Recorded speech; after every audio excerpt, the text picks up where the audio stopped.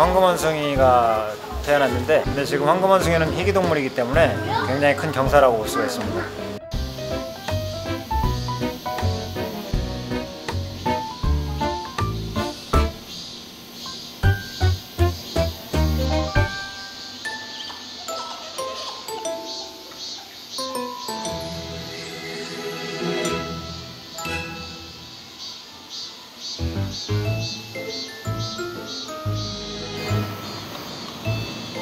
네, 친아빠 맞아요. 요즘 과격한 행동이 많이 증가하고 있어서 요즘 많이 걱정입니다.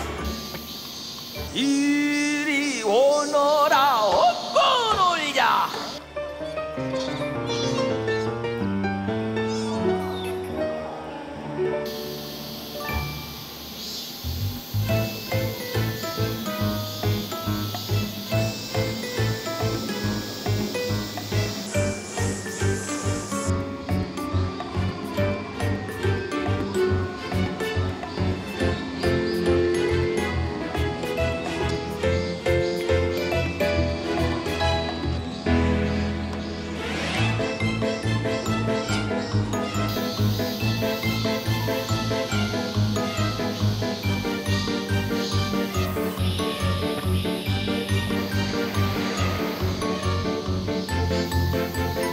안 돼!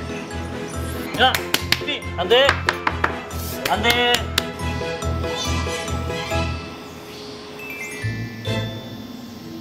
네, 예전에 신비의 아빠가 오공이라고 하는 친구가 있었는데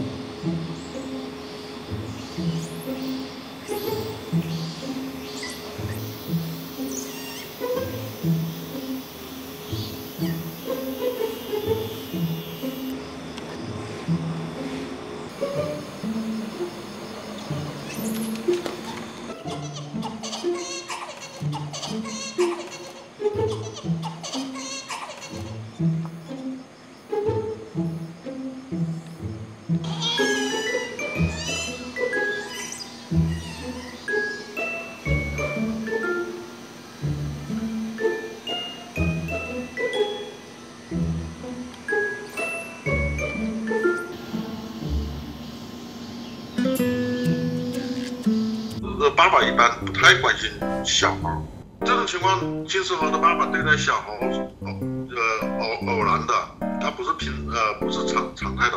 从我们人来看，以为是他在虐待小猴，但实际上他不是。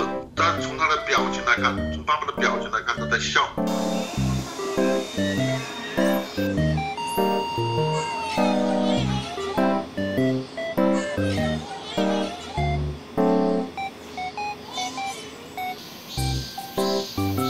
사람도 그렇잖아요. 아기를 처음 낳다 보면 이제 미숙하고 어, 아기에게 제대로 된 걸 못 해줄 수도 있고 어, 이 친구도 마찬가지거든요. 그러다 보면 이제 시간이 지나면 이제 스스로도 깨닫고 아기에게 좀 더 이제 올바른 그런 육아를 해 나갈 수가 있을 겁니다.